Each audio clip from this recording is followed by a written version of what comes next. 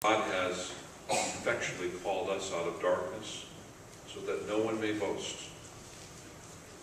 And we are brought into Christ so that we can have forgiveness of sin and his righteousness and our sanctification.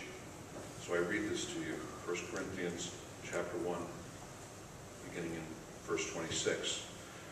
For consider your calling, brothers. Not many of you were wise according to worldly standards. Not many were powerful. Not many were of noble birth.